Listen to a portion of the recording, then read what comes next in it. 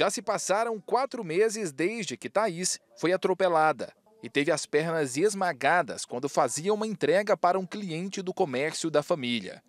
Câmeras de segurança registraram quando o motorista prensa a jovem na carroceria do veículo. Foram dois meses no gol.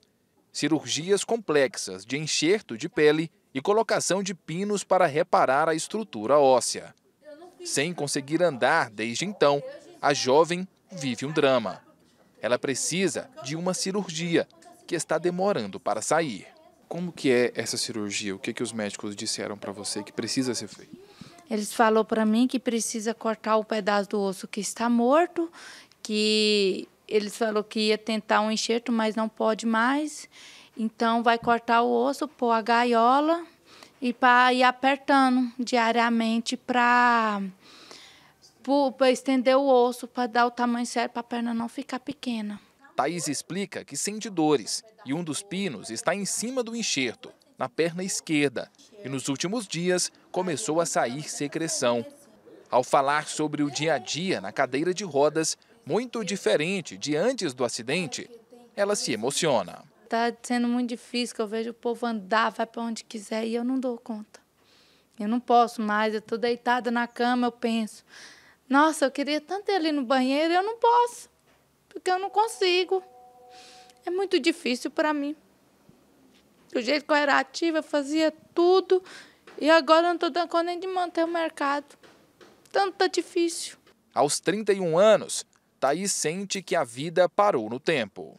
O pedido para a cirurgia da Thaís já foi feito há mais de um mês e meio, mas ela precisa da autorização do sistema para então marcar esse procedimento. Aqui na casa dela, a gente já tem até um andador, as muletas também já estão prontas, reguladas inclusive, mas ela precisa marcar esse procedimento. E vocês ainda não tiveram nenhuma resposta, né, Thay? Não, a gente não tiveram nenhuma resposta. Estão tentando com os amigos, mas até agora ninguém conseguiu.